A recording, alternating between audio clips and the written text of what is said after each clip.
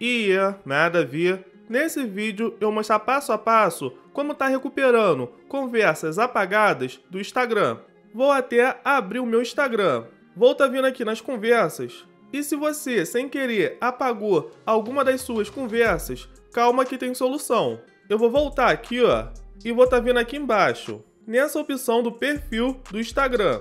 Nessa parte é só a gente vir aqui em cima, nos três tracinhos. Apertou, vai jogar a gente para essa tela. É só vir nessa opção, Central de Contas. Nessa primeira opção vai estar tá mostrando todas as suas contas associadas, mas não é aqui que eu vou vir. Eu vou vir até aqui embaixo, ó. Vou estar tá vindo até essa seguinte opção, Suas informações e permissões. Só apertar em cima.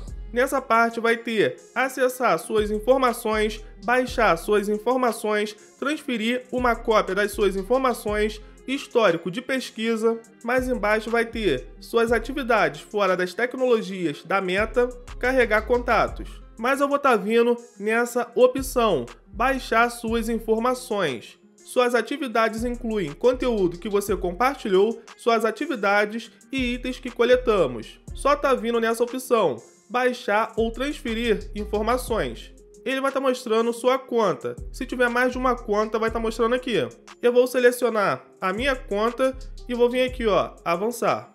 Nessa tela ele está me dando duas possibilidades. Para mim tá baixando todas as informações disponíveis ou só baixar alguma das informações. Eu prefiro vir na última opção, porque aí eu seleciono tudo aquilo que eu quero. Então, vou vir aqui e vai estar tá me dando uma série de opções para mim estar tá marcando, para a gente estar tá baixando né, as informações.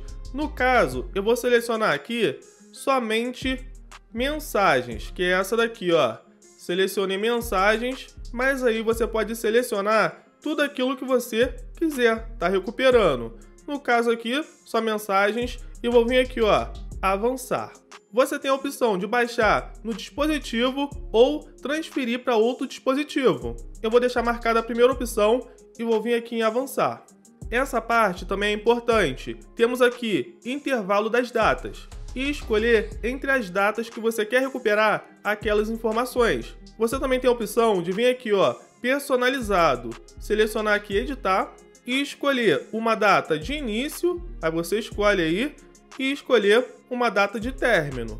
Só escolher para estar tá baixando entre essas datas. No meu caso, eu vou selecionar últimos três meses. Selecionei e vou vir aqui, ó, salvar. Coloquei para me notificar por e-mail em formato. Você pode escolher entre esses dois formatos e eu prefiro HTML.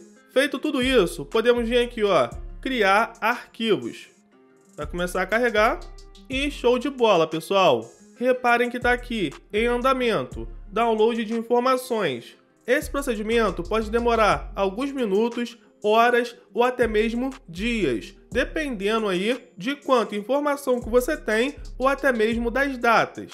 Se você selecionar uma data muito antiga, aí é claro que vai demorar também mais. Inclusive já até me mandaram um e-mail falando aqui que o procedimento está sendo feito. E quando terminar, eles também vão me mandar o e-mail. Aí é só eu entrar no link para estar tá acessando as informações. Então, pessoal, basicamente foi esse o vídeo. Espero que tenha gostado. Muito obrigado para quem assistiu. Até a próxima e valeu!